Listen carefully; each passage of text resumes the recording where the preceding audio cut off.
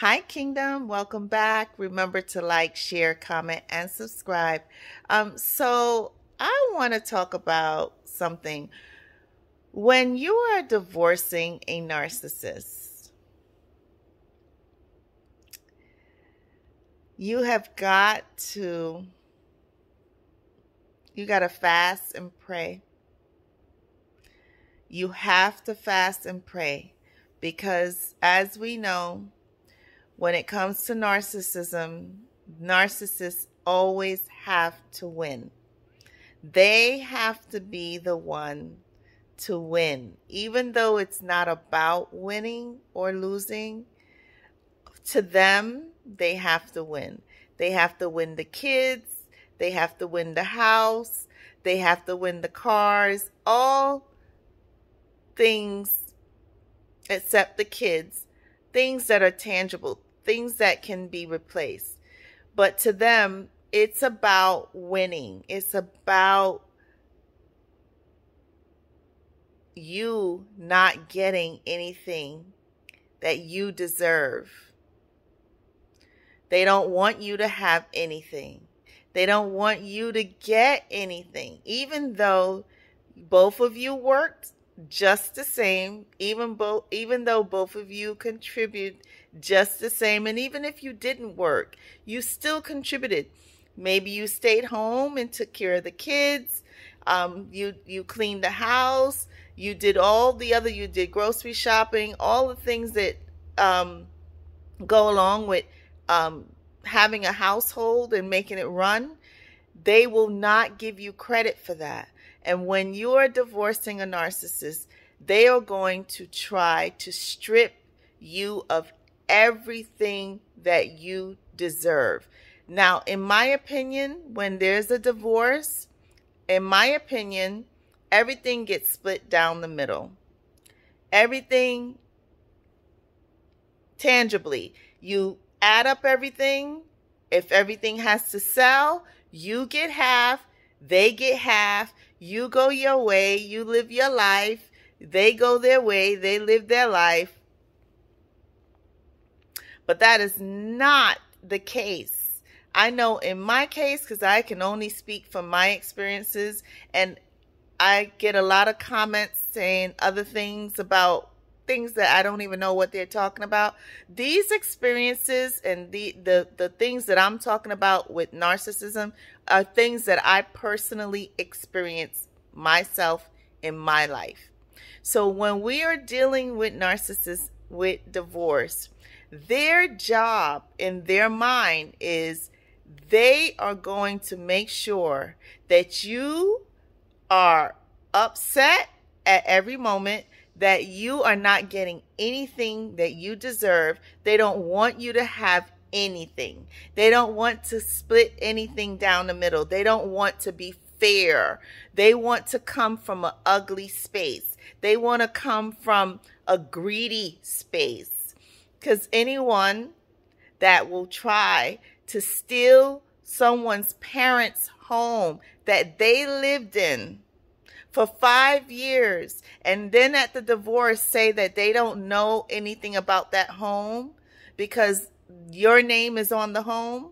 This this happened to me. I've said this before. Come on. There's something definitely wrong if you're trying to steal another person's home that you had nothing to do with that it didn't even you weren't even in the country when the home was purchased there's something wrong but this is the things that they do. They are greedy people. They are money hungry people and they're going to step on you. They're going to squash you. They're going to throw you away just to get a dime, just to get a dollar. But what they don't realize and what they don't know is that same way, whatever it is that they did that they trying to rob you or they did rob you, they don't realize and they don't understand that they're going to lose more because when you take from someone and it, and it's from come not coming from a good place and you try to steal from someone and you try to bring someone down, all it does is lead for the, lead to their own destruction. Excuse me, their own destruction. That's what they do. But they they want to bring you pain. They want for you to not be happy. They don't want you to go, to go on with your life. They want to go on with their life and be happy with their new supply or new in my case new supplies because he had more than one. I don't know how he had time. I don't know where he what I don't know what they're thinking because there's definitely something wrong there. Oh boy, I don't even know. I can't even imagine. I'm so glad. Listen, I am so happy that I'm no longer in that and I don't have to put up with the inadequacies of that foolish person. But in during a divorce, they will 100% strip try to strip you of everything so you've got to stay prayed up you've got to fast you've got to stay in a level space that no matter what they try it is not going to work. No weapon formed against me or my children shall prosper, and it will always boomerang and return to sender. Even if you're not going through a divorce and you're going through a separation and you guys live together for a long time, it's the same thing. They want everything. They want to steal everything from you. They want to take everything from you. But guess what? They could take a house, they could take a car, they can take whatever they want tangibly. But what they can't take is your spirit. What they can't take is the God within you. This is what they don't understand. That if we are children of God, God is going to, whatever, that car that was taken away, guess what God's going to do? God's going to replace that car with a better car. God's going to replace that car with a different car. There's no, nothing that they can do to you that I'm telling you that if you stay prayed up and you keep God in your life, there isn't anything that they can do to bring you down because God is always going to lift you up. Even if they try to bring you down, God is going to take you higher and higher and higher. And God is going to let them see and know that you have the blessing and that the blessings came through you and that no matter what they do to you, you are always going to elevate because God is going to elevate you and he is going to make sure that he is camped his angels round and about you and understand and know that. So when you're divorcing a, a narcissist, stay prayed up. They will try all the shenanigans in the world. They will go to court, put on a a, a, a pretty shirt or a button-up shirt, fold their hands, and talk soft. And um, maybe the judge will even believe them, but the judge is not God. Uh, let me say it again. The judge is not God. So God has the final say. You have got to stay in a space where you are trusting God, even when it, I, I'm talking from experience, even when it doesn't look like things are going to go your way. I am here to tell you, in the end, things are going to go your way, not because of the winning, but because it is right because it is just in God's eyes. And he is going to cover you. He is going to protect you. And whatever is for you he that person can't take away. And if they do take it away like i said god is going to replace it. So when you're separating or divorcing a narcissist i want you to put your big boy and big girl pants on you you have to prepare for a battle but the battle is not yours, it is God's. And if you stay prayed up, you stay fasting, you stay trusting God, there isn't anything that will not come and work in your behalf if you put God as the foundation. So they can try whatever they want to try.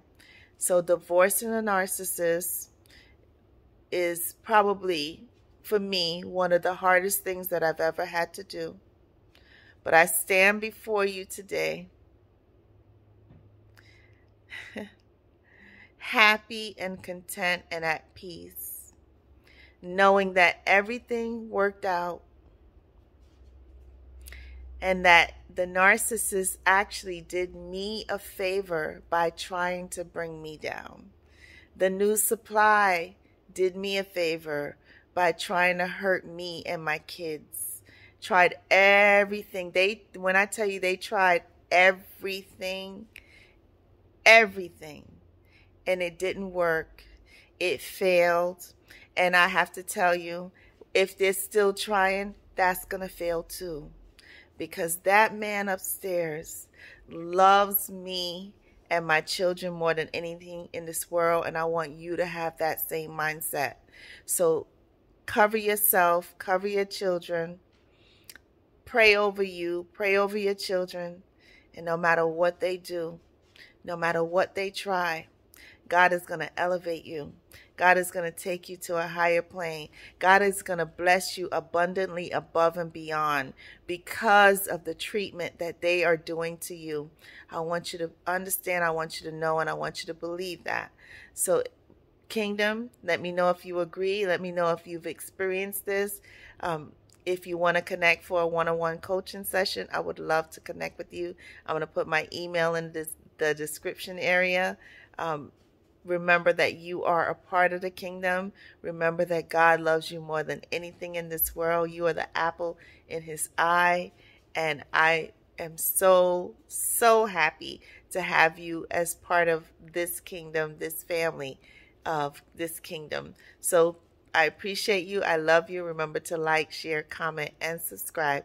And I hope you have a wonderful and amazing and blessed NARC free day. Bye bye.